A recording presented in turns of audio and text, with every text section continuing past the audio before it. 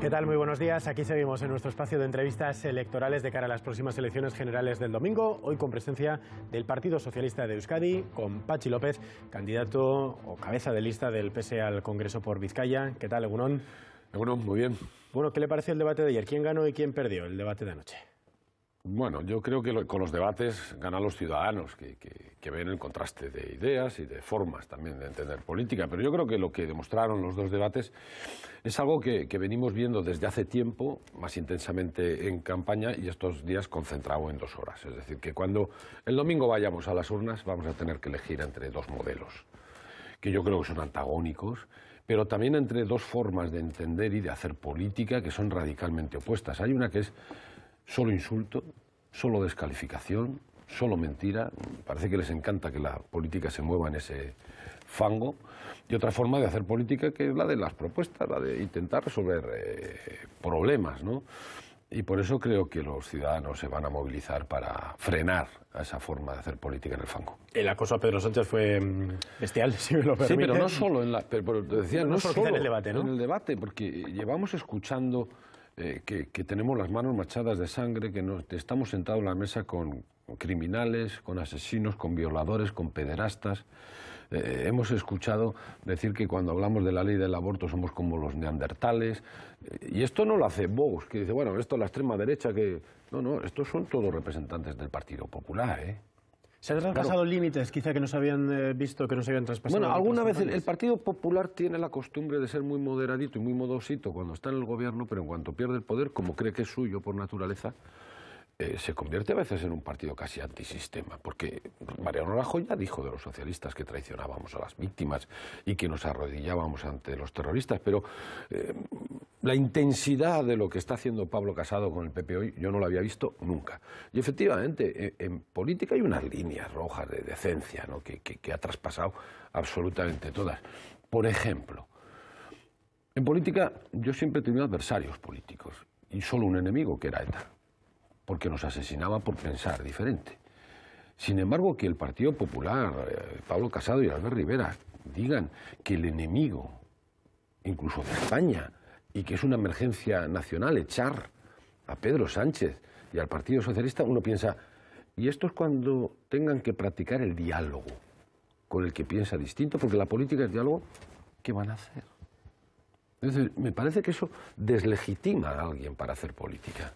Si algo parece que quedó claro en el debate de anoche es que PSOE y Ciudadanos no van a pactar una posible investidura de Pedro Sánchez. Pero es así? Esta era una pregunta muy curiosa que permanentemente se hacía al Partido Socialista de Pedro Sánchez. Pero que le costó responder a Pedro Sánchez. Pero si es que no tenía que responderla porque ya le respondió Albert Rivera y Pablo Casado.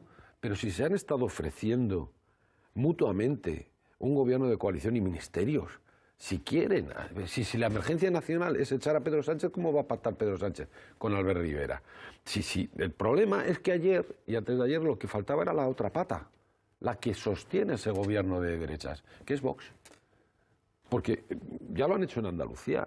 Claro, y esto ya no es cualquier cosa. Esto ya no son dos partidos de derecha que se juntan, no, no, no. Esto es meter a la extrema derecha, que creíamos que estábamos vacunados contra eso, que dice cosas muy preocupantes, predemocráticas, por no decir antidemocráticas algunas y desde luego anticonstitucionales, que es que ponen en cuestión las leyes de igualdad y los derechos LGTBI y la ley de memoria histórica y quiere cargarse las autonomías para recentralizar otra vez el país y que en el fondo vuelve a hacer el discurso de los vencedores exaltando a un dictador. Es que esto es tremendo, esto no es ninguna broma y lo quieren meter en la Moncloa. Y parece evidente, y es evidente que, Sánchez no va a querer gobernar eh, con esos socios, pero lo que parece evidente según las encuestas es tanto que el PSOE va a ganar las elecciones como que no va a tener mayoría absoluta. Si esto fuera así, eh, parece que Unidos Podemos podría ser un socio, pero está exigiendo entrar en el gobierno, en un gobierno de coalición. ¿Esta opción es factible para el no, Primero lo que se tiene que es que pronunciar los ciudadanos y las ciudadanas en las urnas, porque efectivamente nosotros buscamos... Bueno, pues vamos a ver. Pero el lunes, pero vamos a, salieran estos resultados, sí, yo entiendo, yo, entiendo, yo entiendo muchas veces esto de las preguntas y de los periodistas. ¿Con quién? A mí me preocupa mucho más para qué. Claro, porque los pactos tienen que tener siempre un para qué, no solo por estar en el gobierno, por estar en el poder. Y el Partido Socialista, después de las elecciones, pondrá encima de la mesa, dependiendo de lo que digan los ciudadanos, propuestas y un proyecto para avanzar. y seguramente encontraremos aliados para llevarlo a la práctica. Y si coinciden en, el, en el para qué a mí me gusta, a mí me gusta de que haya un gobierno de coalición. a mí me gustan los entendimientos entre la izquierda, pero nuestro objetivo es que haya un gobierno socialista. Socialista, pero por tanto no de coalición con otra formación. Pero ese es el objetivo, vamos a ver lo que dicen los ciudadanos. Abiertos, por tanto, podrían estar a todo. No, va a depender de mí tampoco. Eso lo veríamos. quiero decir, me gustan los pactos de izquierdas porque tienen como horizonte la justicia social, la redistribución de la riqueza, el sostenimiento del estado del bienestar, el tejer esa red de protección social que evita que se nos quede gente en la cuneta de la pobreza, de la marginación, que pone en marcha una fiscalidad progresiva para que el que más tiene más pague y el que más necesita más reciba. Por eso me gustan los pactos de izquierda. En la izquierda también está Esquerra Republicana o está en Euskal Herria Bildu, que tienen otro tipo de pretensiones en su agenda a la hora de poner encima de la mesa para de cara a ya, negociar pero con si el Partido sus prioridades son otras, no es de lo que estoy hablando yo. Por ahí no van a entrar ustedes. No, no, desde luego que no. Derecho a decidir. No. No, no, si estoy hablando de una agenda de justicia social y de otras cosas, es de construcción social. Claro, sí, lo que hace falta es, eh, cuando hablamos de derecho a decidir, independencia, ¿y por qué no se sientan los partidos en Cataluña para buscar un entendimiento? ¿Eh? ¿Por qué no, en lugar de eso dice, no, esto, la solución pasa por un referéndum sí o sí? ¿Por qué no se sientan en Cataluña? Y buscan el entendimiento entre catalanes, que cuando hablamos de la diversidad del conjunto de España, oye, es que la sociedad catalana o la vasca es tan diversa o más. Entiéndase, para reforzar esa convivencia de los distintos. Busquen soluciones. Joan Tardá, decía yo, yo, yo le tengo mucho respeto, además un político entrañable también.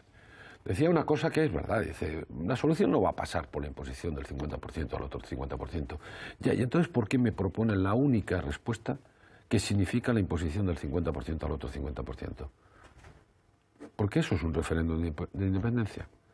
¿Por qué no buscamos un entendimiento previo? Y para encontrar ese, entendimiento previo, esa convivencia, ese diálogo, ¿Hace falta ¿puede, política? Haber, ¿puede haber políticos en la cárcel? Eh, los políticos, como cualquier persona, que incumple la ley, que se salta la ley, tiene que tener eh, su, su, condena, para entendernos. Vamos a ver, ya sé que a veces eh, se manifiestan con pancartas enormes que pone democracia. Bueno, pues que la democracia significa respeto a las reglas de juego y a las leyes. Porque las leyes, desde la Constitución a la última ley, lo que hace, entre otras cosas, es marcar cuáles son los límites del poder. Y cuando alguien llega al poder y dice, me salgo todos los límites porque me da la gana, de manera unilateral, por lo siento, eso no es democracia. Eso es antidemocrático. Pero se lo pregunto por si un gobierno de Pedro Sánchez estaría dispuesto a estudiar la posibilidad de indultar. No, mira, es que esto de los indultos, que es otra pregunta recurrente, como la de Ciudadanos. Pero que interesa a la ciudadanía. Sí, no, no, no, no, pero, pero, pero es lo que demuestra poco respeto primero a la justicia, que tiene que pronunciarse. No hay condena todavía. Por lo tanto, no hay posibilidad de indulto. Segundo, un indulto se tiene que pedir. Y los posibles condenados ya han dicho que no lo van a pedir. Y tercero, acabo de decir, oiga, quien no respeta las leyes, pues tiene que pagar. Vamos a ver lo que pasa todavía. Pero si las sentencias sí, y si lo pidieran, podríamos llegar a ese escenario en el que se pudiera Pero es que no está esto encima de la mesa. Habría que esperar a que llegara ese momento. Uh -huh. Y el artículo 155, que los partidos de la derecha lo llevan también pero, eh, inscrito en la, en la, frente, tal y como decía ayer Albert Rivera. Sí, de pero es que eh, la pregunta es, ¿y, ¿y al día siguiente?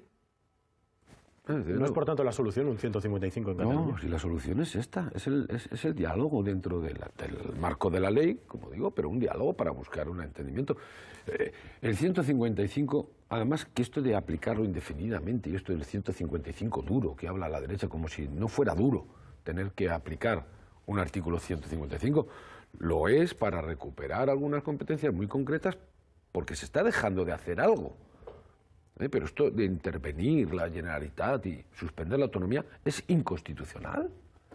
Y es que a, veces se cuentan cosas que no tienen nada que ver con la realidad, pero la pregunta es, ¿y al día siguiente qué? Si el problema que nos ha traído aquí seguramente no es el fracaso de la política, sino el fracaso de la ausencia de política. El Partido Popular no ha tenido política para Cataluña. Más que la agresión, más que utilizar Cataluña, como a veces intenta utilizar Euskadi o el terrorismo, para buscar votos en otras partes, en lugar de dar respuestas a los problemas que había allí. Dejemos Cataluña por un momento y hablemos también de Euskadi. El PNV le pide al PSOE a la hora de poder llegar a cualquier tipo de acuerdo, agenda vasca. Por ejemplo, en la próxima legislatura podríamos ver la transferencia de la seguridad social y de prisiones. Primero, agenda vasca. No es agenda vasca hablar de las pensiones y subir las pensiones por encima del IPC. No hay jubilados en Euskadi. No es agenda el PNV vasca. presume de haber conseguido esa subida. No, no, pero quien la ha provocado de verdad es el gobierno socialista. Lo mismo que recuperar la prestación por desempleo a los mayores de 52 años. Lo mismo que recuperar las cotizaciones a la seguridad social de las personas, de las mujeres, fundamentalmente, que atienden a los eh, dependientes. Lo mismo que haber recuperado la universalidad del sistema de salud. Te podría dar muchos ejemplos en solo 10 meses, ¿eh? Claro, cuando esto afecta a la ciudadanía, ¿no es agenda vasca? Claro que es agenda vasca. Otra cosa es la agenda del desarrollo estatutario. Bueno, pues también con un gobierno socialista se han sentado los dos gobiernos, han empezado a negociar y ya hay el primer acuerdo en transferencias con la AP 68, ¿no? Bueno, este es el camino, este es el objetivo. Vayamos hablando, vayamos desbrozando dónde están esos eh, desacuerdos. Y eso se consigue con un gobierno socialista. Seguridad social y prisiones, por tanto, podrían ser ¿Están en la lista? Bueno, pues que se sienten a hablar, claro. Pero seguridad social, lo, decimos así, pero de seguridad social lo que habla el estatuto es de un convenio para la gestión económica. No la caja única, no, no romper la caja única, no otras cosas. ¿eh? Por tanto, requeriría de mucha negociación. No sé si podría haber claro, porque de hecho convenio quiere decir que dos partes se ponen de acuerdo. Eh, las relaciones entre el PS y el PNV atraviesan uno de sus mejores momentos ahora mismo, visto los, pactos que hay eh, en Liza y las relaciones que puede haber bueno, ha habido, entre España y... Es que en la historia de Euskadi ha habido muy buenos momentos en esa relación que son los que mejor han venido a, nuestro país y donde más se ha construido. Eh, en este país es cuando nos hemos entendido entre diferentes.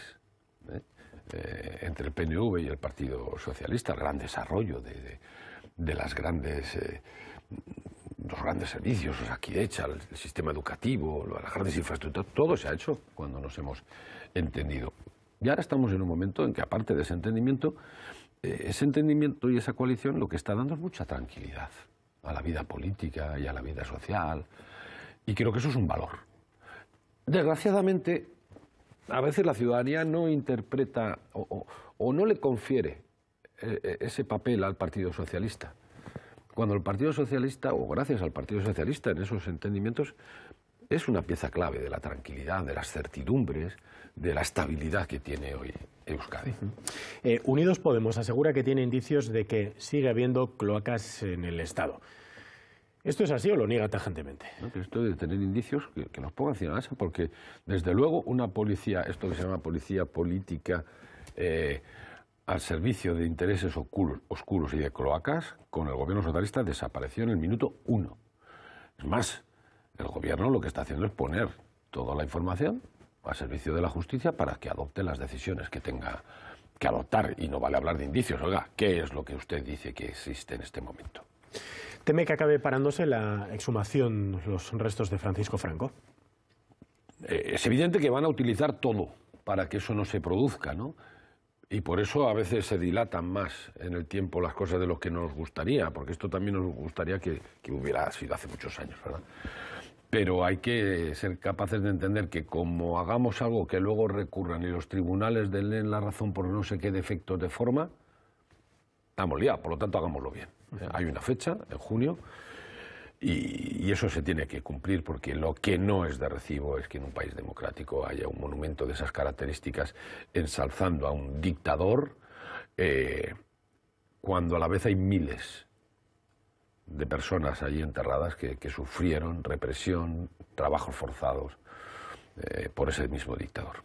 Eh, le voy a plantear, señor Pachi López, una serie de medidas que pueden salir en la próxima legislatura y a las que le pido que me responda muy brevemente, casi casi a favor, en contra o abstención. ¿Qué votaría el PSOE eh, ante una ley de eutanasia, que no es algo nuevo realmente para ustedes? A favor, de hecho, somos la que le hemos presentado, ya estaba en el Congreso y la paralizaron PP y Ciudadanos.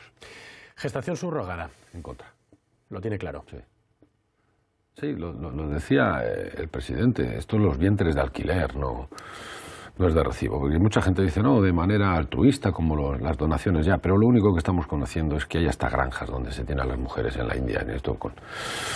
Aunque haya quien tenga que irse de fuera o lo puede hacer fuera si tiene dinero. Pero es que, eh, quiero decir, las mujeres no se alquilan. Eh, reforma de la ley del aborto. ¿Para qué? Ya está muy bien. este cuestionario es el de la derecha que está queriendo que retrocedamos en todos los derechos que hemos ido conquistando durante este tiempo, porque claro, es que la alternativa a seguir avanzando es retroceder 40 años. Eh, reforma de la Constitución. Ustedes la reformaron con el Partido Popular. Eh, sí, y, avalamos, y avalamos una reforma de la Constitución para actualizarla, para que tenga un lenguaje más inclusivo, para que los derechos que hemos ido conquistando durante todo este tiempo no dependan del gobierno que viene y los quita y los pone, sino que sean estén consagrados y para eh, ver cómo mejoramos nuestro modelo territorial. ¿Un referéndum en España por el derecho a decidir es posible, es factible? a mí me gustan los referéndums que refrendan los acuerdos. Por eso digo, en Cataluña, en Euskadi, sentémonos, lleguemos a un acuerdo, redactemos el marco de convivencia, que es un estatuto, y lo pongamos a, referéndum. Pero eh, tienen valor cuando es el entendimiento entre distintos. Cuando se pone de acuerdo entre iguales los independentistas, pues igual suman más, pero pero tiene poco valor para construir convivencia. ¿Y legalización de partidos lo lleva el Partido Popular en su programa? No, lo contemplo, desde luego, y mucho menos por defender la independencia, que es una de las cuestiones que dicen.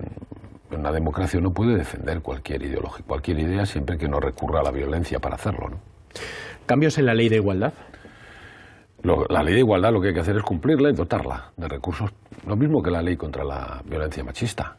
¿Eh? porque uno puede, el Partido Popular se, ufana de haber puesto en marcha o haber apoyado esta ley ya, pero si luego no la dota de recursos, ah, no vale para nada. Eh, ¿Le preocupa que este asunto, el de la violencia machista, esté en campaña y que algunos partidos quieran estén hasta cambiando la, terminología? Claro, me preocupa la concepción que tienen algunos. Ya no hablo solo de Vox, qué cosas dice, ¿no? Pero me preocupa que alguien del Partido Popular no entienda que solo sí es sí. Es que me parece tremendo, ¿eh? Me parece tremendo que no entienda esto y que se siga poniendo del lado de, cosas que hemos visto como sentencias con las manadas y cosas de estos. Es que me parece tremendo. Un asunto que en esta campaña apenas está apareciendo y que quizá hayan sido además precisamente los jóvenes quienes estén tirando de este carro, el cambio climático. Eh, hace falta una ley, hay un anteproyecto de ley aprobado ahora mismo. Hay que ponerse serios en este asunto de la, de Muy serios, de hecho eh, nos hemos puesto tan serios que por primera vez en la historia hay un ministerio que habla de la transición ecológica en este país. Por primera vez nos hemos puesto a la cabeza, a la cabeza de las políticas eh, europeas. De hecho, eh, Greenpeace sacó un informe ayer que analizaba todos los proyectos de todos los partidos políticos y el mejor valorado es el del Partido Socialista. Eh, la caza o los toros, otro asunto que también la derecha está sacando en esta campaña. ¿Hay que prohibir alguno de ellos? ¿Hay que legislar sobre estas materias? Todo tiene que estar legislado en un país, pero no para prohibir. ¿Por qué para prohibir? Salario mínimo interprofesional. ¿Hay que subirlo? ¿Hay que dejarlo como está? Hay que ir subiéndolo paulatinamente, porque el salario mínimo lo que hace es, eh, entre otras cosas, que en este país deje de haber 7 millones de trabajadores y de trabajadoras pobres. Esta es una categoría que habíamos desterrado. Pues ha vuelto con la reforma laboral del PP porque hay salarios de miseria con contratos cercanos a la explotación. Y esto hay que revertirlo con urgencia. ¿no? Y el salario mínimo interprofesional que algunos decían que, iba a ser la quiebra del sistema, que ya no se iba a crear empleo, pues está funcionando muy bien. ¿Y ¿Pensiones, ligarlas al IPC? Desde luego, las pensiones no pueden perder poder, adquisitivo y la única forma de hacerlo es que el índice de revalorización permanente sea como mínimo ese IPC. Y luego hay que hacer sostenible el sistema público, porque algunos ya hablan de privatizarlo, algunos hablan de pensiones eh, eh, planes de pensiones privados y además incentivarlos fiscalmente, cuando, o igual que, dicen incentivar el ahorro. Oiga, quien puede ahorrar en un plan de pensiones pasta suficiente como para que fiscalmente le venga bien es quien tiene mucho dinero. Y esos no van a necesitar ¿eh? estar ayudados en las pensiones. Por lo tanto, tenemos que consolidar el sistema público con fórmulas de financiación, que serán las cotizaciones, pero si es necesario también a través de los presupuestos. Y dos cuestiones más para terminar. La primera sobre la extrema derecha, sobre Vox. El hecho de que no haya estado en los debates, que no haya estado realmente en entrevistas, de, digamos, serias o de ámbito estrictamente periodístico, que solamente se esté viendo lo que dan a través de mítines o de redes sociales y que pueda ser una de las formaciones más, más votadas en el próximo Congreso. ¿Hasta qué punto le preocupa? ¿Hasta qué punto cree que verdaderamente es una amenaza para... El no estar en los debates no me preocupa, aunque debieran haber estado porque todos vemos que van a estar en el Congreso de los Diputados y en el, y en el Senado. Me preocupa por lo que te decía antes, porque nos están haciendo planteamientos predemocráticos y, la derecha, lejos de aislarles como hacen en Europa, de aislarles, denunciarles, repudiarles, no, se han mimetizado con ellos y a veces no les distingo, pactan con ellos y ellos son los que van a influir. Y en 20 segundos, un mensaje para los indecisos, que puede ser un 20 o un 30% de la población ahora mismo. Pues que quedarse en casa el domingo significa cuatro años. Puede significar cuatro años de, de recortes, de retrocesos, de extrema derecha. Pues Pachi López, cabeza de lista por Vizcaya al Congreso de los Diputados, gracias por atendernos. Cabeza de lista del Partido Socialista de Euskadi. Nos vemos el jueves, mañana por la noche en el debate de TV2. Ahí estaremos. Nosotros nos despedimos aquí, volvemos mañana a las once y media en nuestro espacio para las entrevistas electorales, un espacio para el PNV. Gracias por su atención, Arte.